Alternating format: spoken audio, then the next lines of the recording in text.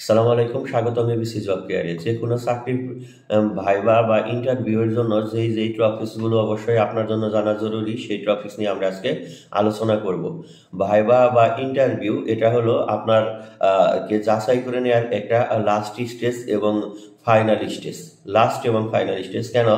আপনার যখন আপনি চাকরির প্রস্তুতির মানে চাকরির জন্য অ্যাপ্লাই করেন, তখন আপনার এডুকেশনাল কোয়ালিফিকেশন অনুযায়ী সার্টিফিকেটের ডকুমেন্ট দিয়ে আপনি অনলাইনে বা দূরে থেকে হোক অফলাইনেই হোক, চিঠির মাধ্যমে আপনি অ্যাপ্লাই করেন এবং সেটা ওই প্রতিষ্ঠান কাগজপাতি বা ডকুমেন্ট চেক করে তারপরে আপনাকে চাকরির মানে তাদের ক্যান্ডিডেট হিসাবে পাবলিশ করে, ঠিক আছে? যে সে পরীক্ষা দিতে পারবে। কিন্তু আপনাকে কিন্তু ওনারা দেখল না এবং আপনার মানে আচার আচরণ কীরকম হতে পারে, আপনার কাজের দক্ষতা কীরকম হতে পারে, আপনি কীরকম, এটা কিন্তু ওনারা দেখল না। কিন্তু জাস্ট শুধু ডকুমেন্টের উপরে আপনাকে নিয়োগ পরীক্ষা দেওয়ার অনুমতি ওনারা মানে দিল অ্যাপ্লাই করার ভিত্তিতে। তো আপনি যখন অ্যাপ্লাই করে রিটেন টিকলেন, তারপরে কিন্তু আপনার ভাইবা, এটা হলো লাস্ট এবং ফাইনাল স্টেজ তার আগে যত কিছুই হোক, ঠিক আছে? তো এটা তখন যখন আপনি রিটেন টিকলেন তারপর আপনাকে ভাই ভাই নিয়ে আপনার কথাবার্তার ধরন, আপনার বডি ফিটনেস বডি ল্যাঙ্গুয়েজ তারপরে আপনার আচার আচরণ কীরকম হতে পারে, ঠিক আছে? তারপরে আপনি প্রতিষ্ঠানের জন্য কতটুকু নিবেদিত হতে পারেন এই সব বিষয়গুলো কিন্তু ভাইবাতে যাচাই বাছাই করা হয় এবং আপনার প্রাথমিক জ্ঞান কীরকম আছে, এটাও কিন্তু যাচাই করা হয়। এই সব কারণে মূলত আসলে ভাইবার অ্যারেঞ্জমেন্ট বা ভাইবা নেওয়া হয় বা ইন্টারভিউ নেওয়া হয়। এখানে বেসিক কিছু বিষয় অবশ্যই আমাদের জানা প্রয়োজন যেগুলো ভাইবা বোর্ডে থাকে।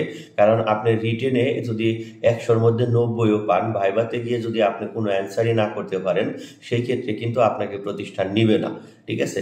আর রিটেনে যদি আপনি একশোর মধ্যে আশি পান, আপনি যদি ভাইবাতে গিয়ে ভালো করতে পারেন বা সত্তর পেলেন, ভাইবাতে গিয়ে ভালো করতে পারেন, কারণ রিটেনের মার্ক এবং ভাইভাই একটা মার্ক থাকে, সেটা যোগ করে যদি আপনার মানে সিরিয়ালে আপনি থাকেন, তাহলে কিন্তু অবশ্যই আপনার সেটা চাকরি হওয়ার একটা পসিবিলিটি থাকে, ঠিক আছে? এবং অনেক সময় আছে যে আপনাকে এমনও হয় যদি আপনার ভাই ভাই খুব ভালো লাগে এবং ওই বোর্ড মেম্বারগণের ভাই ভাই বোর্ডে যারা থাকে, তাদের যদি আপনাকে চয়েস হয় মার্কটার কোনো ব্যারি করে না, আপনাকে নিয়ে নেয় সরাসরি। এরকমও অনেক সময় হয়ে থাকে শুনি, ঠিক আছে?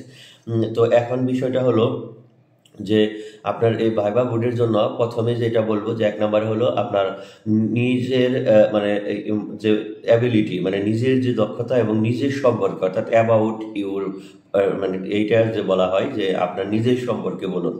আপনার নিজের সম্পর্কে এটা আপনাকে মানে শিখতে হবে। আপনার নিজের সম্পর্কে বলতে এমন নয় যে আপনি শুধু আপনার নাম, বাবার নাম, ঠিক আছে, বাড়ি কোথায়, তারপরে কি পড়াশোনা করেছেন, এত কিছু নয়। আপনি নিজের সম্পর্কে মানে আপনি আসলে ওই প্রতিষ্ঠানের জন্য কি করতে পারবেন, এইরকম কিছু একটা তাদের বোঝাতে হবে।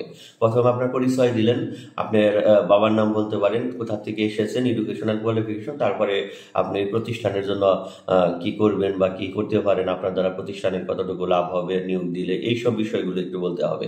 তারপরে জানতে হবে যে নিজ জেলা। নিজ জেলার মধ্যে আপনাকে যেটা আছে যে, আপনার যেমন নিজের জেলার বিখ্যাত কোনো স্থান, বিখ্যাত কোনো ব্যক্তি, নিজের জেলার সাথে মুক্তিযুদ্ধ এবং বঙ্গবন্ধুর সাথে কোনো রিলেটেড কোনো কিছু আছে কিনা বা বর্তমান সরকার প্রধানের সাথে কোনো রিলেটেড কিছু আছে কিনা, এইসব বিষয়গুলো নিজ জেলার সম্পর্কে জানতে হয় এবং নিজের জেলার দর্শনীয় কোনো স্থান, ঠিক আছে? এগুলো বা উল্লেখযোগ্য নাম করা কোনো স্থান বা কোনো উল্লেখযোগ্য ঘটনা, এগুলো আপনাকে অবশ্যই জানতে হবে এবং নোট করে রাখতে হবে। তারপর হলো, আপনাকে যেটা জানতে হবে, নিজের নামের অর্থ এবং নিজের নামের সাথে কোনো বিখ্যাত ব্যক্তি কোনো মানে নামের সাথে মিল আছে কিনা, এই বিষয়গুলো জানতে হবে।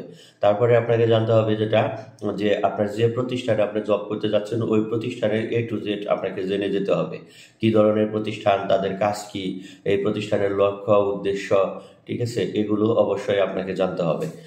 তারপরে জানতে হবে আপনার উল্লেখযোগ্য যেটা বঙ্গবন্ধু এবং মুক্তিযুদ্ধ, এই দুইটা টপিক্সের উপর আপনাকে এ বাংলাদেশ হিসাবে জানতে হবে। বাংলাদেশের তারপরে বিভাগ আছে, তারপরে বাংলাদেশের উল্লেখযোগ্য নদীগুলোর নাম, তারপরে বাংলাদেশের সীমানা বাংলাদেশের সীমানা বলতে হলো যে উত্তর, দক্ষিণ, পূর্ব, পশ্চিমের লাস্ট যে থানা, উপজেলা বা স্থান মোট কথা এবং কোন দেশগুলো আছে, বাংলাদেশের মুদ্রা, বিভিন্ন উল্লেখযোগ্য ঘটনা ঘটনা এবং সমসাময়িক বিষয় বিভিন্ন উল্লেখযোগ্য সমসাময়িক বিষয়, সাম্প্রতিক বিশ্ব ঠিক আছে?